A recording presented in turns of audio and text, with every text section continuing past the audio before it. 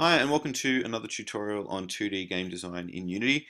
In the previous tutorial we looked at how to add physics 2D materials to um, objects in our game um, so that we can work with things like bounciness and friction. And we also looked at different types of colliders. So in this tutorial today we're going to work a little bit more with physics 2D materials. So um, at the moment in this scene, and I might just remind you, um, it's probably a good time to save your scene in Unity right now if you haven't already done that. I've already saved my scene and to do that you click on File and then Save Scene and if it's the first time saving it you need to give it a name and I've just called mine Level 1. And you might also want to organize your scenes in a folder called Scenes as well. Um, so I might do that now. Right click in the Assets panel there, Create, Folder, and Scenes and I might drag this scene file into there. So all of this is one scene here and it's called level 1.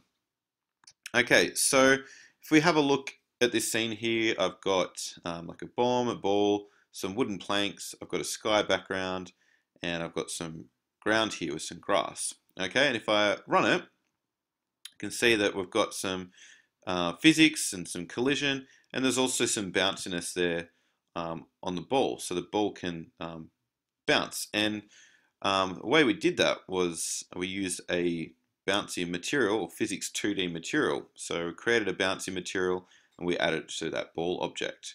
So what I'm going to do now is um, I'm going to look at how to change friction on an object, make things um, maybe a little bit slippery in the game. And um, what I'm going to use is a different sprite so I've been using the plank sprite, and now I'm going to use the ice sprite. So I'm going to drag the ice sprite in just over here somewhere. Let's move it uh, over here, and we'll just rotate it just a little bit, like that. It's just on a little bit of an angle. And I'm going to drag another sprite in, which is going to land on this ice um, sprite. So I'm going to use the weight sprite. So I'll drag that in just over here. And just zoom in a little bit and might just um, scale this down a little bit, make it a bit smaller. Okay, so we've got um, like an ice brick here and we've got a weight sprite there as well.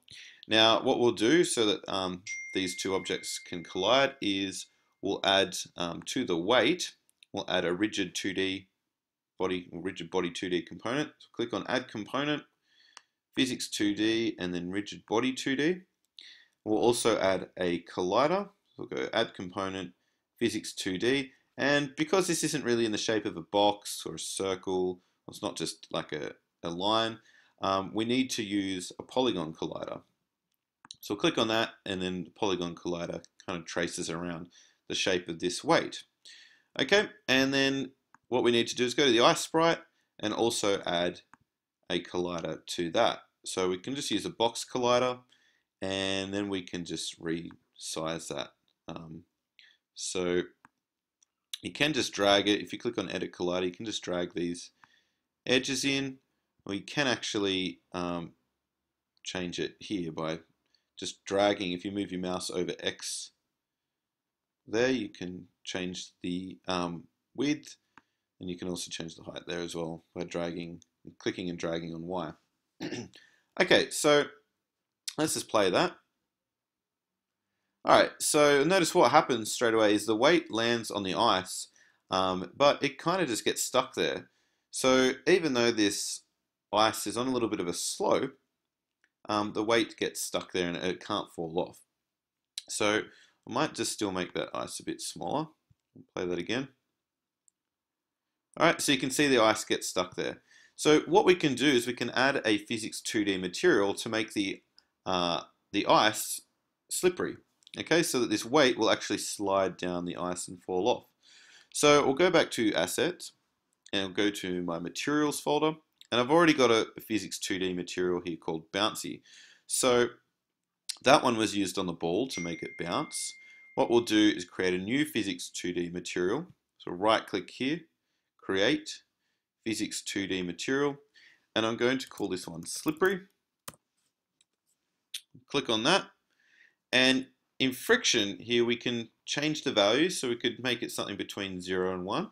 So um, what I'll do is reduce the friction and make it something like 0.1. So reducing the friction should make this uh, ice block uh, actually slippery. So it'll be like ice. Okay, and now we need to actually add this physics 2D material to the ice sprite. So we can go to the ice sprite um, and here we have material none. So we can just drag slippery onto there and now we're using the slippery material. We can play that and there you go. So it's uh, sliding down the ice. It hasn't completely fallen off, but it was close. So we might just change the angle just a little bit. See if it slides off now. There we go. Okay, so that is how to change the friction of an object or um, add uh, like a slippery material to an object. So there we go, the bomb, uh, sorry, the, the weight just slides right off the ice. And if we wanted to get rid of that material, if we didn't want to use it anymore, we could just click on the material here and press delete. And now there's no material attached there. So we'll run that again. And you can see that the weight just, it doesn't slide off without using that slippery material. Okay, so that's it for Physics 2D materials um, and colliders. In the next tutorial, we'll be looking at um, prefabs. Thanks for watching.